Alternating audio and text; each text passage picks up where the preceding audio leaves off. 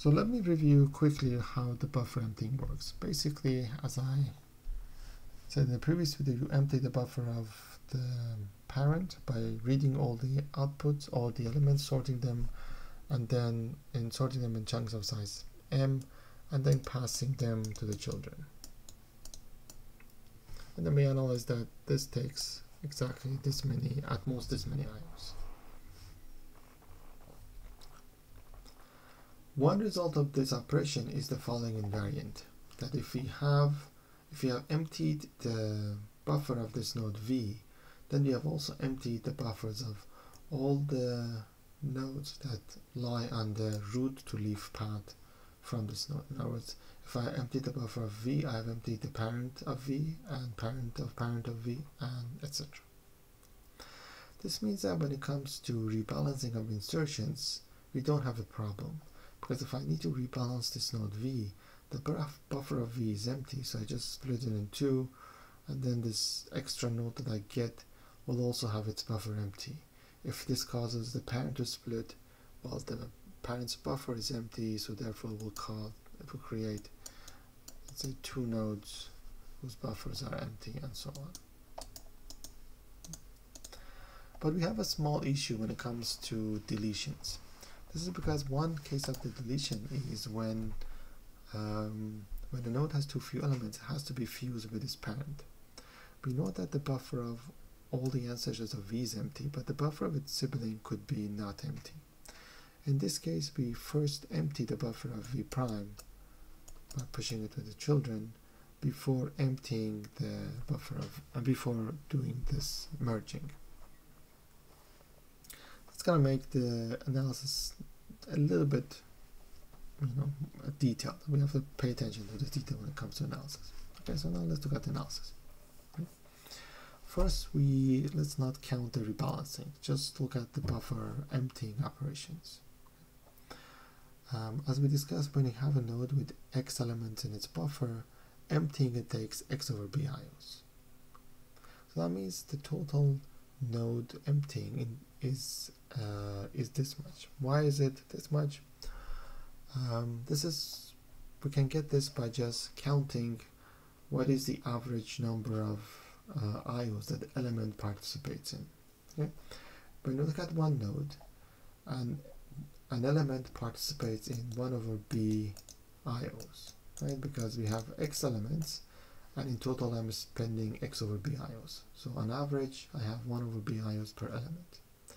But an element could travel all the way down the tree, right? So an element could be inserted at the root, then it could go to the child of a root, then the child of the child of all the way up to, to the end of the tree. Okay? The height of the tree is this much, so this is the height of the tree.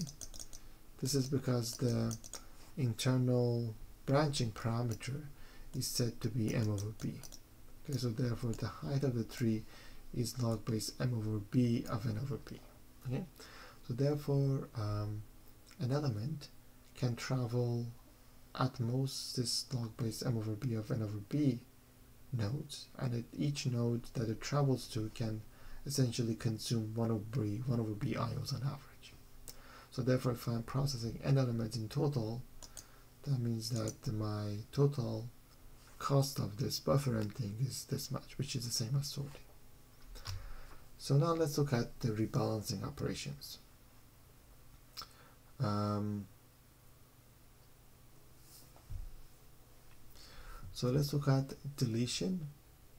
So when it comes to deletion, um, I might need to empty uh, a non-full buffer because of the issue that we discussed. So, so that could add this much extra IOs to whatever IOs that I'm doing. Okay? Um, so that means the cost of these rebalancing, I could say that it's this much. Okay. But now we're going to use the um, observations that we had that we had from before. If you remember in an A-B tree, the the expected number of times we needed to do internal rebalancing as well as leaf rebalancing was n divided by a and n and a divided by k. Okay. Since um, the value, the, the branching parameter of the leaf is set to be b, or theta of b. The um, leaf fuse and split is this much because that's the branching parameter of the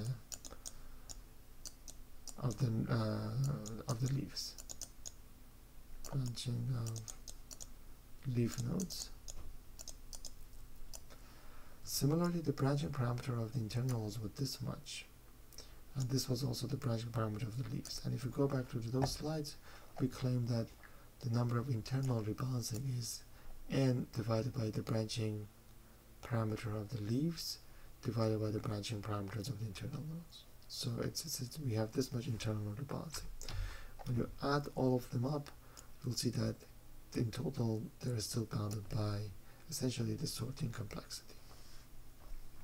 So that shows that all of these operations that we're to do over n operations, we have the essentially the sort bound.